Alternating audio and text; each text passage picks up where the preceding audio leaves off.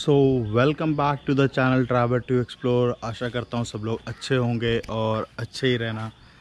तो कुछ ना कुछ तो चलता ही आ रहा है जीवन में एंड देन बहुत ज़्यादा भागा दौड़ी रहती है, ये तो हमेशा ही हुई है। बट हाँ इसी भागा दौड़ी के बीच में थोड़ा सा समय निकाला और देखा कि वीकेंड है, अगर कहीं जा नहीं पा रहे क्योंकि हिमाचल में आप देख रहे हो किस तरह से डेली लैंडस्लाइड हो ही रहा है यार मतलब बहुत ज़्यादा मतलब डरावना भी है and then to be on the safer side ना जाओ यार, क्योंकि फिर वहाँ के लोगों के लिए भी दिक्कत हो जाती है, अपने लोगों के लिए तो दिक्कत है ही है। तो इट्स बेटर कि अभी आप इग्नोर करो। तो हिमाचल नहीं जा सकते, जयपुर में बहुत ज़्यादा गर्मी सोचा एक कोई गेटवे अगर छोटा सा कहीं जा सकते हैं तो कहाँ जा सकते हैं? तो हुआ कि चलते हैं, गोवर्धन चलते हैं, अपना मथुरा, वृंदावन घूम घाम के आते हैं। दो दिन के लिए बहुत सही रहता है। तो सैटरडे का प्लान बनाया था कि अर्ली मॉर्निंग निकल जाएँगे, सुबह यहाँ पे आ जाएँगे। आ, इस जगह के बारे में आपको डिटेल में बताऊँगा अगले व्लॉग में बट ये है कि इस जगह पे हमने सोचा सुबह जल्दी आ जाएँगे बट आ नहीं पाए थे। तो लेट्स सबसे पहले वॉच करते हैं हमारी जर्नी जो हमने दिल्ली से शुरू करी थी। तो इस बार हम लोग आए मैं मम्मी पापा और श्रेयांश आया है हमारे साथ। तो तो अभी श्रेयांश आया हमारे साथ। तो पहले आप हमारी जर्नी देखिए जो हम वहाँ से यहाँ तक आए थे। ठीक था अच्छा था जर्नी रास्ता ठीक है कई जगहों पे कंस्ट्रक्शन का काम चल रहा है फ्लाईओवर्स बन रहे हैं तो सही हो जाएगा तो और अच्छा रहेगा ट्रैवल करने में जैसे कि हरिद्वार वाला रूट हो गया है। बट टिल द टाइम पहले रास्ता देखिए फिर आपसे मिलता हूँ। बाय बाय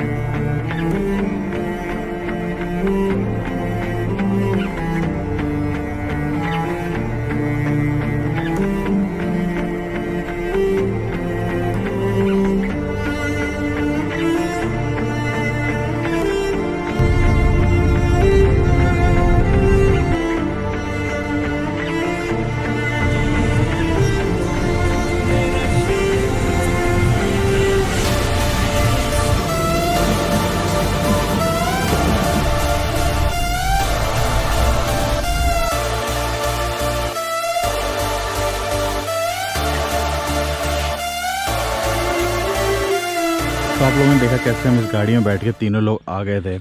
और काफ़ी दूर तक तो मैंने चलाया था। उसके बाद दिल्ली से बाहर निकलते ही मैंने फिर पापा को दे दी। ये मुझे बहुत ज़्यादा नींद आ रही थी और मेरे से बिल्कुल नहीं चलाई जा रही थी। तो एट दी एंड मैंने बोला पापा आप चलाओगे? तो पापा ने बोला, ठीक है। मम्मी को आगे बैठा दिया। मैं आराम से पीछे बैठ गया था। रास्ता तो सीधा ही था। वहाँ जो थोड़ा बहुत था वो गाइड कर दिया। तो हम लोग यहाँ पे पहुँच गए, थोड़ा टाइम लगा क्योंकि बीच में गूगल बाबा ने इधर उधर खेतों में उतार दिया था और उसके बाद हम दोबारा यू टर्न घुमा फिरा के दोबारा आए। तो ठीक है गूगल बाबा के सहारे रहते हैं यार तो थोड़ा बहुत ऊपर नीचे होता है बट ठीक है फाइनली हम यहाँ पहुँच गए हैं। It's a very nice place इस जगह के बारे में और भी डिटेल में बताऊँगा आप लोगों को तो आप बने रहेगा हमारे साथ। अगर आप चैनल पर नए हैं तो सब्सक्राइब ज़रूर कर लेना।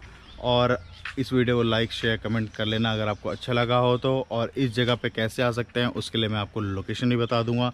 तो यहाँ पे आप आ सकते हैं, यहाँ पे आप कांटेक्ट कर सकते हैं, यहाँ पे आप रह सकते हैं। There are lot of things that you can do ये एक ऐसी जगह है ना, जो कि बिल्कुल गोवर्धन में बीचों बीच है। अभी आपको सिर्फ़ ये छोटी सी बात बता रहा हूँ, इसकी सारी स्टोरी जो है आपको अगले ब्लॉग में चलेगी। तो इसी के साथ इस चैनल पे बने रहिएगा, एंड तक देखिएगा वीडियो, जो भी आने वाली है, सब्सक्राइब कर लीजिए ताकि नोटिफिकेशन पहले मिल जाए। और आपको इसी साथ मिलता हूँ अगले ब्लॉग में। टिल द टाइम इस रास्ते से आए थे हम। Till the time bye bye